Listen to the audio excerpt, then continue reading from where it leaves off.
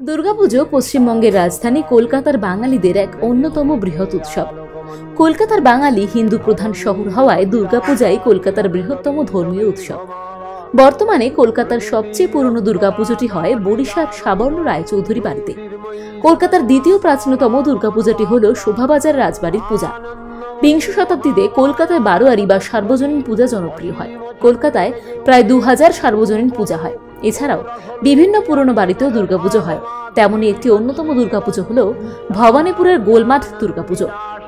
রাজ্যের তথ্য এবং সংস্কৃতি বিভাগের মন্ত্রী তথা রাজ্যের মুখ্যমন্ত্রী মাননীয় মমতা বন্দ্যোপাধ্যায়ের নেতৃত্বে বিশ্ব বাংলা সেরা পুজোর স্বীকৃতি অর্থাৎ বিশ্ব বাংলা শারদ সম্মান দেওয়া হয়। নবান্ন সভাগৃহ থেকে ভার্চুয়াল মোডে মুখ্যমন্ত্রী সম্মান জানান। দু হাজার কুড়ি সালের দশই নভেম্বর বিকেল চারটের সময় বিভিন্ন বিভাগে নির্বাচিত সেরা দুর্গাপুজোগুলিকে পুরস্কার বিতরণ হয়। কলকাতা এবং সন্নিহিত এলাকায় এগারোটি বিভাগে নির্বাচিত সেরা ছিয়ানব্বইটি পুজো, তাছাড়া রাজ্যের বাইশটি জেলায় চারটি বিভাগে নির্বাচিত দুশো একাত্তরটি সেরা পুজোকে শারদ শুভেচ্ছায় সম্মানিত করা হয়।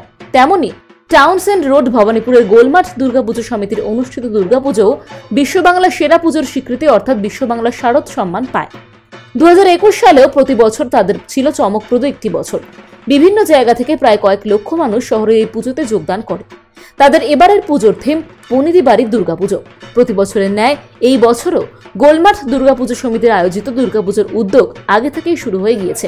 এমনকি এবার তারা থিম পুজোর পাশাপাশি মণ্ডপের বিশাল চত্বর জুড়ে বিভিন্ন স্টল বসানোরও উদ্যোগ নিয়েছেন।